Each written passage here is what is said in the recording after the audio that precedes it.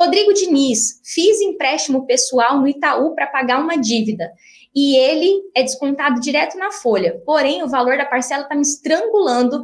É, atualmente, a minha dívida, minha renda diminuiu e o preço das coisas aumentou. Vou ler de novo para vocês entenderem. Fiz um empréstimo pessoal no Itaú para pagar uma outra dívida. Ele é descontado direto na folha, só que, cara, a parcela está me estrangulando, Daj, porque a minha renda reduziu e o preço de tudo aumentou. Que, que eu faço? Cara, Rodrigo, primeiro, né? Acho que a primeira coisa que a gente entender é que você precisa identificar um erro.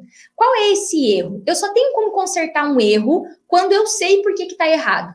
Qual foi o seu erro? O seu erro foi pegar empréstimo para cobrir buraco, foi pegar empréstimo quando falta dinheiro para pagar as contas. Se você não entende que isso é um erro, que isso só te afunda mais na dívida e a prova está aí, você continua cometendo esse erro pelo resto da tua vida. E talvez até aqui você não sabia que isso era errado, ou sabia que era errado e fazia sabendo que era errado. E eu te entendo, porque quando eu estava aí na tua situação, eu, eu fiz a mesma coisa durante quatro anos. Eu ia lá, faltava dinheiro para pagar o cartão, eu pegava empréstimo para pagar o cartão. Eu usava o limite, pegava empréstimo para pagar o limite. Depois eu pegava empréstimo para pagar o cartão e o limite. E minha vida foi essa zona durante quatro anos, até que eu cheguei no fundo do poço e renegociei todas as minhas dívidas e tripliquei minha dívida. De novo fiz mais uma dívida. Então, se você só olhar para o sintoma, que é o empréstimo estar estrangulando o teu mês, você vai não vai resolver o porquê também de que isso está acontecendo. Então, primeiro de tudo, clareza de um erro,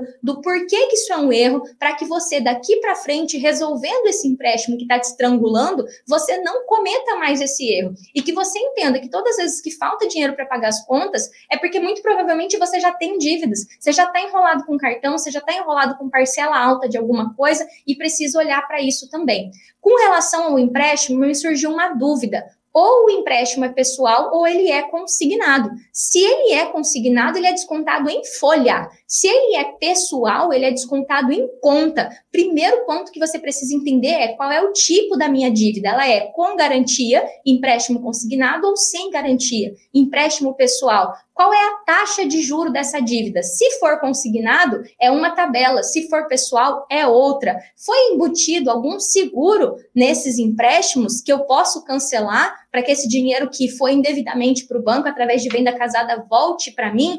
Qual é a taxa efetiva total desse empréstimo? A primeira coisa, primeira, primeira etapa desse caminho para se livrar das dívidas e fazer o dinheiro sobrar todos os meses é clareza sobre as suas dívidas, que dívida que é, como é que é, pessoal, é consignado. Então, a, o primeiro passo é você conseguir o contrato e o documento de evolução dessa dívida, desse empréstimo, para você entender se é pessoal ou se é consignado, e aí, em seguida, você vai poder começar a se preparar através da proteção salarial para depois seguir para a negociação. Porque eu tenho certeza que, se é empréstimo pessoal, dá para reduzir juro, e se é consignado, com certeza existe a possibilidade de você rever esse juro de alguma forma, porque na minha prática como educadora, consultora financeira ao longo de cinco anos, eu nunca vi uma dívida que não possa ser reduzida, nem que seja um pouquinho. Então, o consignado acaba tendo uma margem um pouquinho menor para redução, mas o crédito pessoal, em geral, está com um juro três vezes acima do que deveria estar. Tá.